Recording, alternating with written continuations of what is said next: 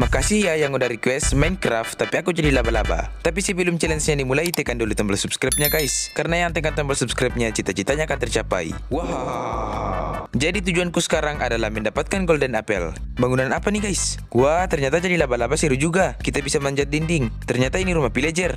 Ada chest. Isinya apa ya? Ada gandum. Coba kita lihat chest yang ini. Yes, isinya ada apel. Karena kita udah punya apel, jadi sekarang kita cari gold untuk membuat golden apple. Di mana ya kita bisa mendapatkan gold? Aduh, apa yang terjadi?